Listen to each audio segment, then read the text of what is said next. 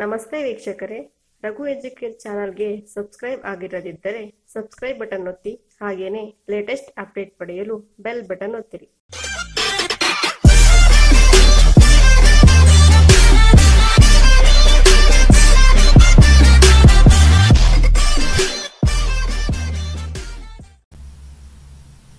ಆತ್ಮೀಯ ಶಿಕ್ಷಕರ ಮಿತ್ರರೇ, ತಮ್ಮೆಲ್ಲರಿಗೂ ರಘು ಎಜುಕೇಟ್ ಚಾನಲ್ ವತಿಯಿಂದ ನಮಸ್ಕಾರಗಳು.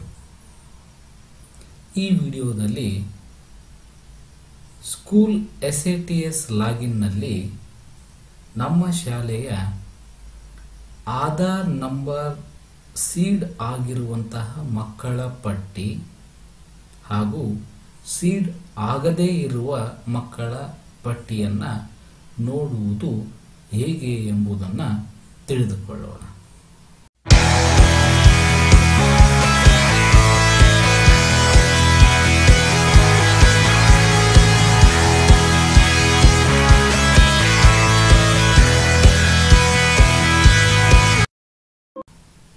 ಇದಕ್ಕಾಗಿ ನಾವು ಎಸ್ ಎ ಟಿ ಎಸ್ನಲ್ಲಿ ಲಾಗಿನ್ ಆಗಬೇಕಾಗುತ್ತೆ. ಲಾಗಿನ್ ಮೇಲೆ ಕ್ಲಿಕ್ ಮಾಡಿ ಯೂಸರ್ ನೇಮ್ ಮತ್ತು ಪಾಸ್ವರ್ಡನ್ನು ಹಾಕಿ, ನಂತರ ಕ್ಯಾಪ್ಷನನ್ನು ಟೈಪ್ ಮಾಡಿ ಲಾಗಿನ್ ಆಗಬೇಕು. ಸೊ, ಲಾಗಿನ್ ಆದ ನಂತರ ಈ ಥರ ನಮ್ಮ ಸ್ಕೂಲ್ನ ಎಸ್ ಎ ಟಿ ಎಸ್ನ ಓಮ್ ಪೇಜ್ ಸಿಗುತ್ತೆ. ಈ ಓಮ್ ಪೇಜ್ನಲ್ಲಿ ಇಲ್ಲಿ click to redirect to scholarship portal ಅಂತ ಇದೆ. ಇದ್ರ ಮೇಲೆ ನಾವು ಕ್ಲಿಕ್ ಮಾಡಬೇಕು. ಕ್ಲಿಕ್ ಮಾಡಿದಾಗ ಅದು ನೇರವಾಗಿ ಸ್ಟೂಡೆಂಟ್ ಸ್ಕಾಲರ್ಶಿಪ್ ಪೋರ್ಟಲ್ಗೆ ಲಿಂಕ್ ಆಗುತ್ತೆ. ಲಿಂಕ್ ಆಗಿಬಿಟ್ಟು ಈ ಥರದ ಒಂದು ಪೇಜ್ ಓಪನ್ ಆಗುತ್ತೆ. ಈ ಪೇಜ್ನಲ್ಲಿ ರಜಿಸ್ಟ್ರೇಷನ್ ಮೇಲೆ ನಮ್ಮ ಕರ್ಜರನ್ನು ಹಿಡಿದಾಗ ಅಲ್ಲಿ ಒಂದು ಡ್ರಾಪ್ ಡೌನ್ ಬರುತ್ತೆ. ನೋಡಿ ಇಲ್ಲಿ ಈ ಥರ ಡ್ರಾಪ್ ಡೌನ್ ಬರುತ್ತೆ. ಈ ಥರ ಡ್ರಾಪ್ ಡೌನ್ ಬಂದಾಗ ಅದರಲ್ಲಿ ಒಂದನೇ ಆಪ್ಷನ್ನು ರಿಜಿಸ್ಟರ್ ಸ್ಟೂಡೆಂಟ್ ಅಂತ ಇದೆ. ಎರಡನೇ ಆಪ್ಷನ್ನು ಕಂಪ್ಲೀಟ್ ಸ್ಟೂಡೆಂಟ್ ರಜಿಸ್ಟ್ರೇಷನ್ ಅಂತ ಇದೆ. ಇನ್ನು ಮೂರನೇದು ಬಂದು ಎಡಿಟ್ ಸ್ಟೂಡೆಂಟ್ ಡೀಟೇಲ್ಸ್ ಅಂತ ಇದೆ. ನಾಲ್ಕನೇ ಆಪ್ಷನ್ ಬಂದುಬಿಟ್ಟು ರಿಪೋರ್ಟ್ ಅಂತ ಇದೆ. ಇನ್ನು ಅದರ ಕೆಳಗಡೆ ಇದೆ ಐದನೇ ಆಪ್ಷನ್ನು ಆಧಾರ್ ಸೀಡಿಂಗ್ ರಿಪೋರ್ಟ್ ಅಂತ ಇದೆ. ಇದು ಆಧಾರ್ ಸೀಡಿಂಗ್ ರಿಪೋರ್ಟ್ ಇದು ಆಧಾರ್ ಸೀಡಿಂಗ್ ರಿಪೋರ್ಟ್ ಅಂತ. ಇದ್ರ ಮೇಲೆ ನಾವು ಕ್ಲಿಕ್ ಮಾಡೋಣ.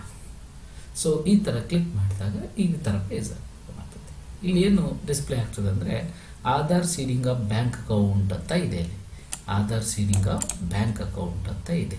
ಹಾಗೆ ಇಲ್ಲಿ ಎರಡು ಆಪ್ಷನ್ ಇದೆ. ಅಕೌಂಟ್ ಸೀಡೆಡ್ ಅಂದರೆ ಈಗಾಗಲೇ ಅಕೌಂಟ್ಗೆ ಆಧಾರ್ ಬ್ಯಾಂಕ್ ಅಕೌಂಟ್ಗೆ ಆಧಾರ್ ಸೀಡ್ ಆಗಿದೆ ಆಗಿರುವಂಥ ಲಿಸ್ಟು ಇದರಲ್ಲಿ ಸಿಗುತ್ತೆ. ಅಕೌಂಟ್ ಸೀಡೆಡ್ ಅಲ್ಲಿ, ಈ ಇದರಲ್ಲಿ. ಇನ್ನು ಇಲ್ಲಿ ಇನ್ನೊಂದಿದೆ. ಇದು ಅಕೌಂಟ್ ನಾಟ್ ಸೀಡೆಡ್ ಅಂತ ಇದೆ. ಅಕೌಂಟ್ ನಾಟ್ ಸೀಡೆಡ್ ಅಂದರೆ ಯಾವ ವಿದ್ಯಾರ್ಥಿಗಳ ಬ್ಯಾಂಕ್ ಅಕೌಂಟ್ಗೆ ಆಧಾರ್ ಸೀಡೆಡ್ ಆಗಿವೋ ಆ ವಿದ್ಯಾರ್ಥಿಗಳ ಪಟ್ಟಿಯನ್ನು ಇಲ್ಲಿ ನಾವು ನೋಡ್ಬೋದು.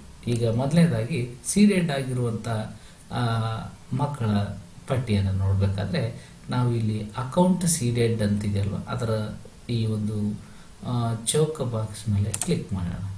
ಕ್ಲಿಕ್ ಮಾಡಿದಾಗ ಸೊ ಇಲ್ಲಿ ಡೀಟೇಲ್ ಓಪನ್ ಆಯಿತು.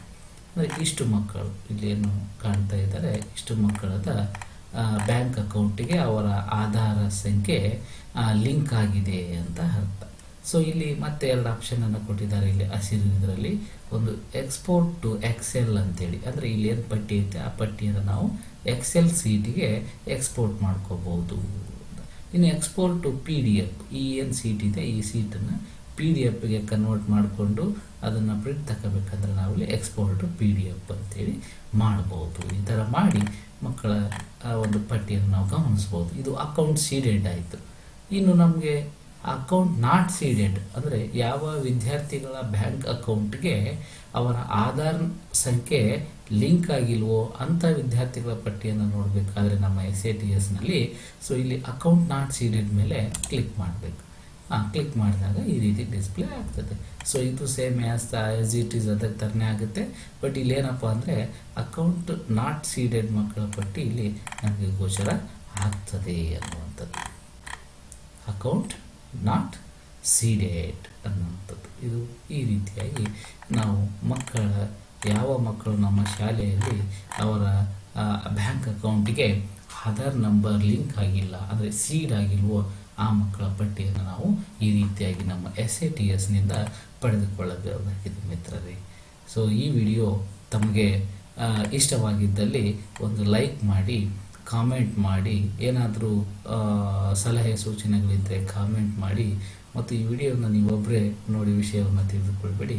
ಈ ನಿಮ್ಮ ಸ್ನೇಹಿತರೆಲ್ಲರಿಗೂ ಈ ವಿಡಿಯೋನ ಶೇರ್ ಮಾಡಿ, ಅವರು ಕೂಡ ಈ ವಿಷಯವನ್ನು ತಿಳಿದುಕೊಳ್ಳಿ ಅಂತ ಹೇಳ್ತಾ ವಿಡಿಯೋನ ನೋಡಿದ್ದಕ್ಕೆ ಧನ್ಯವಾದಗಳು.